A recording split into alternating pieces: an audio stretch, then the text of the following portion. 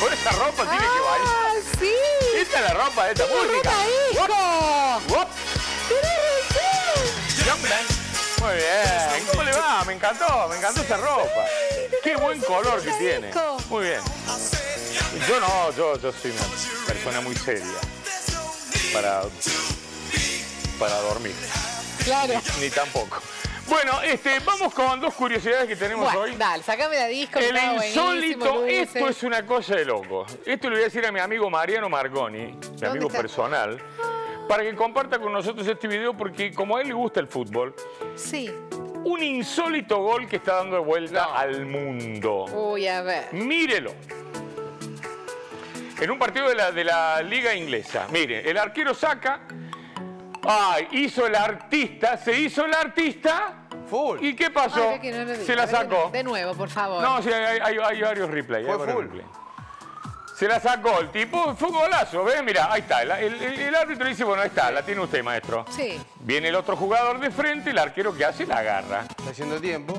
Ahí está. Apenas lo toca y ya se tiró al suelo. ¿Viste? Por artista, gol. A cobrar, ¿eh? Ah. Sí, señor. Uh, Se queja, pero el juez que se queja.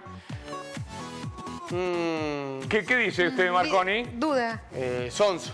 Sonso. Sonso, sonso. Sonso, sonso total. Sonso total. Sí. No es full, no es full. Apenas, pero vos fijate. Pero generalmente lo cobran, ¿eh? Ah. ¿realmente lo cobran? Bueno, pero ahí en ese caso se ve que no lo cobran. No, no, está bien. ¿eh? Está Y bien. adentro a cobrar. Bueno, Aparte, y en este, ¿eh? justicia, porque eso no se hace.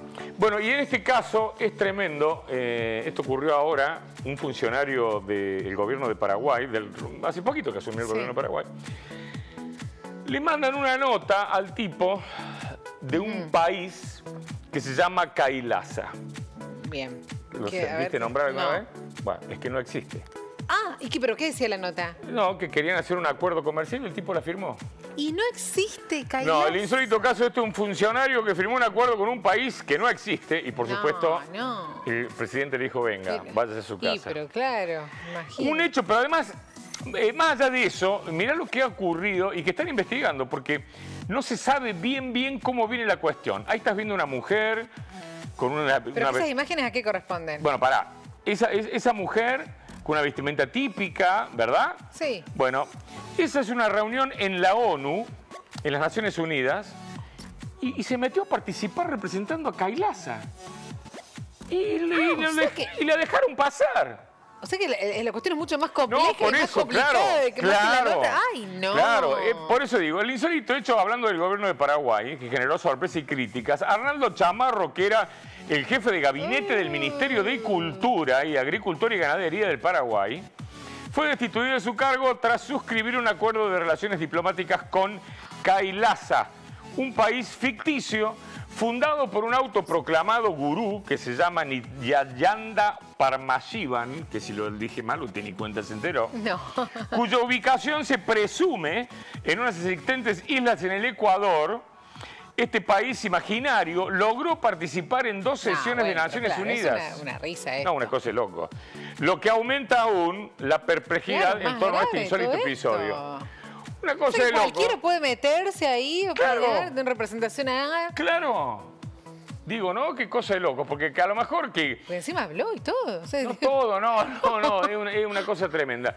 Así que bueno, están investigando qué hay detrás de esta historia de Kailasa este, y el supuesto presidente o, o- o rey, ahí está, ahí, ahí lo estamos viendo, que, que es como un gurú que se llama Nityananda Parmashivan.